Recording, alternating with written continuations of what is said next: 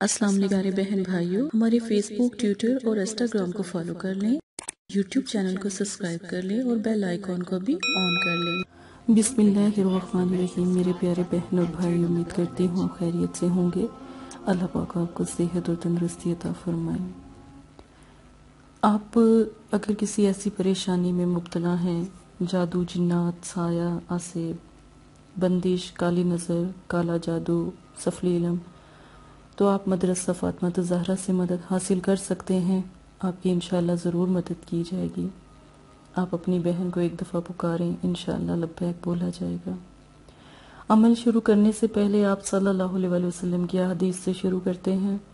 कुरान पाक की तलावत किया करो। इसलिए कि क़यामत के दिन अपने साथी, यानी पढ़ने वाले की शफाहत करेगा। शफात करने से जैसे हम कभी किसी के परेशान कोई हो या कोई नुकसान हो या कोई परेशानी आती हो, हम मदद करते हैं ना? या कोई उससे नुकसान हुआ हो तो हम उसके लिए खड़े होकर दलील देते हैं, ठीक है? इसी तरह कुरान पाक जब हम पढ़ते हैं ना तो वो हमारी पुकार सुनते हैं और क़्यामत के दिन अल्लाह पाक को कहेंगे कि अल्लाह पाक इन्होंने मुझे पढ़ा था, इनको माफ़ कर दे। और जन्नतुल फिरदौस में अला मुकाम अता फरमा दे तो प्यारे बहन भाइयों, मुश्किल वक़्त, परेशानी के वक़्त अल्लाह को याद करें। पैसा नहीं है, घर में माल नहीं है, दौलत नहीं है रिस्क नहीं है, अल्लाह से फरियाद करें। लंबी उम्र के लिए, अपनी उम्र की लाजिम नहीं है कि आपकी उम्र छोटी है या बड़ी है। जो भी उम्र में आप हैं, उसके अंदर बरकत के लिए दराज उम्र के लिए, हाजत रवाई के लिए, अपना मकसद पूरा करने के लिए ये दो लफ्ज़ काफ़ी हैं।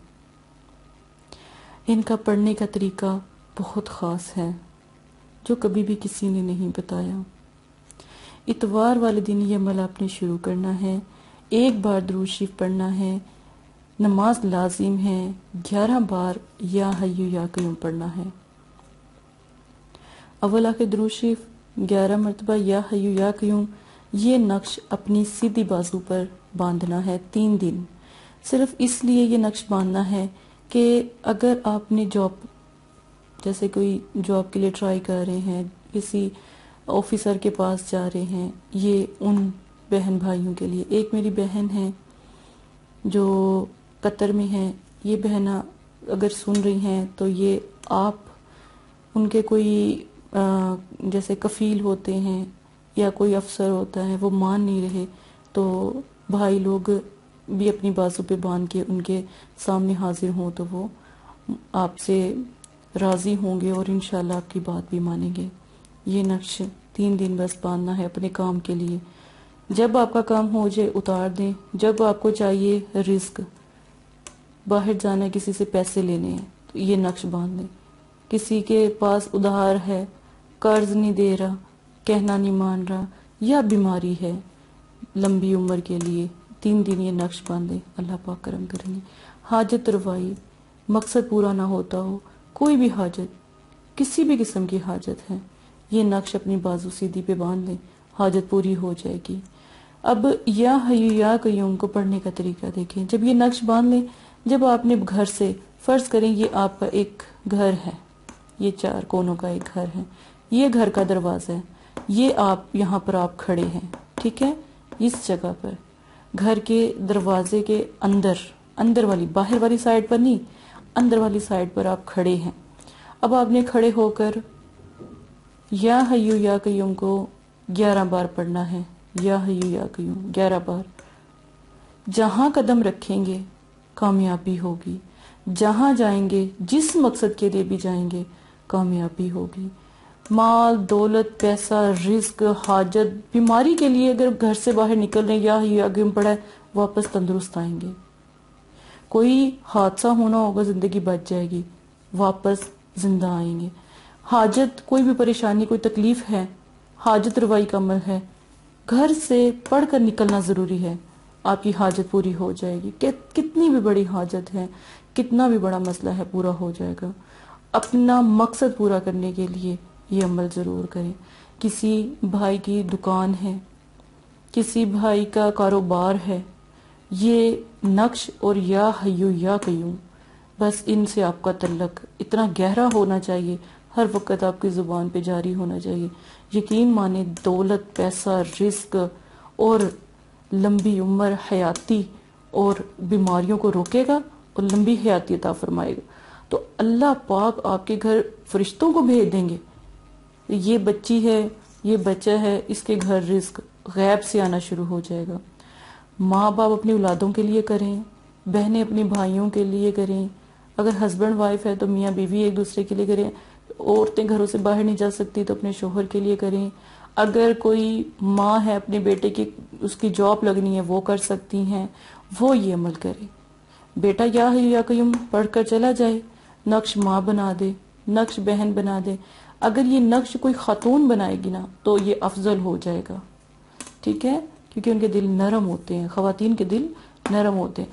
आपके लिए ये इतना खास अमल है, आपको कभी भी कोई नहीं बताएगा। ये घर से जब आप बाहर निकलेंगे, आपका मकसद पूरा हो जाएगा। फरिश्ते आपके लिए दुआ करेंगे, या ही या कयूं के जो ताबे फरिश्ते हैं, वो आपके लिए दुआ करेंगे रो रो के अल्लाह पाक से। गिड़गड़ा के दुआ करेंगे अल्लाह पाक, इस बंदे ने मुझे पढ़ा है इसकी दुआओं को पूरा कर दे। आपकी जितनी भी हाजत परेशानी है, अल्लाह पाक इन फरिश्तों की खातिर आपकी मुश्किल को, परेशानी को ख़त्म कर देंगे और अल्हम्दुलिल्लाह आपको खैर की खबर होगी और हर जगह आपको, हर कदम पर आपको कामयाबी अल्लाह पाक अता फरमाएँगे। ये अमल आप ज़रूर करें इन कभी भी आपको ये अमल आपको किसी ने भी नहीं बताया होगा। जो हमारे चैनल पे आपको जिस तरह की अमलियात सिखाई जा रही हैं, आप सीखें। सीख कर लोगों को बताएँ। आमिल खुद बने तो फिर देखिएगा इन ताला, लोगों की मदद करें। लोगों की मदद करें। इंसानियत की जान बचाना, एक इंसान की जान बचाना ऐसे है कि पूरी दुनिया खलकत की जान बचाने के बराबर। सुबह अल्लाह तो आप भी मदद करें एक दूसरे की।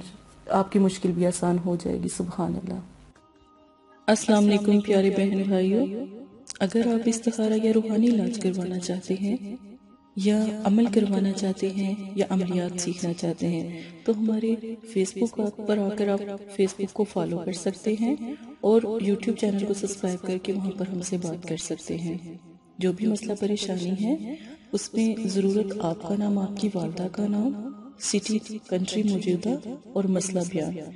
ये चीज़ें बताकर आप अपना इस्तारा भी करवा सकते हैं। जजाकल्ला और अगर आपने इस्तारा करवाना है तभी रबता करें। अगर इस्तारा नहीं करवाना तो ये दीन है, ये कोई फ़न या इंटरटेनमेंट नहीं है। अपना भी टाइम ज़ाया ना करें और मदरसे वालों का भी टाइम ना ज़ाया करें। आपकी वजह से बहुत से ऐसे लोग जो परेशान हाल घरों में हैं, उनकी भी बात फिर नहीं सुनी जा सकती। जैसा कला